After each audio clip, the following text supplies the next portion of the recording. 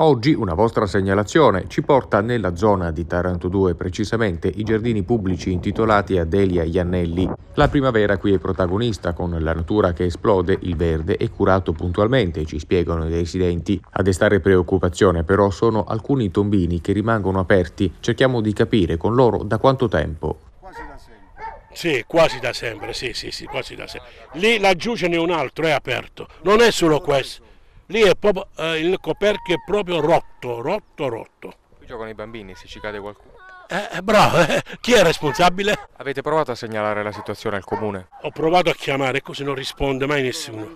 Adesso, visto che siamo sotto le elezioni, proviamo anche questo, vediamo se funziona. Ci sono dei tombini vuoti, recinto che non viene, viene è semi abbandonato. Soltanto il fatto del verde viene curato.